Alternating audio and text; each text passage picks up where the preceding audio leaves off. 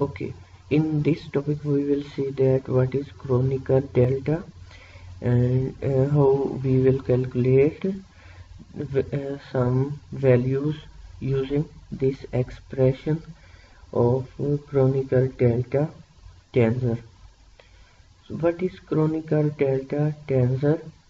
This will be equal to delta ij what is value of delta ij when i is equal to j and when i is not equal to j.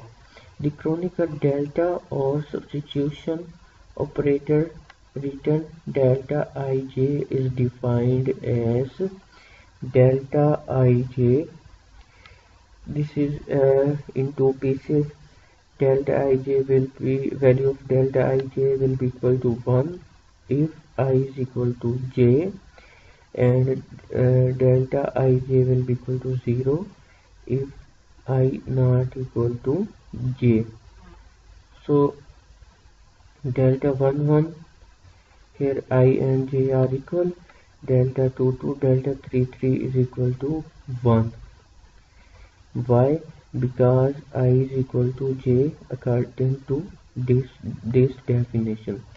And delta 1 2 delta 2 1 delta 2 3 similarly 3 2 delta 3 1 3 1 3 will be equal to 0 because the conditions of this definition that if i is not equal to j then delta ij will be equal to 0 so this is the expression of Kronecker delta. We will use this expression in uh, an example. So uh, example number 7. Using the definition of Kronecker delta, calculate delta ij xij. Okay, what is the expression? Uh, this is the expression.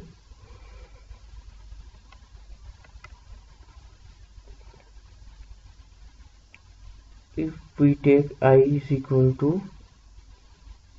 here i is 1 delta 1j x 1 xj plus delta 2j x2 xj plus delta 3j x3 and xj here is i variable uh, the value of i will be equal to 1 2 and 3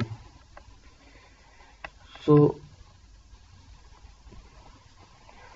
if we are uh, going to put the value of j so this will be equal to 1 1 1 2 1 3 similarly 2 1 2 2 and 2 3 plus 3 1 3 2 and 3 3 so we uh, will use definition of Kronecker delta here.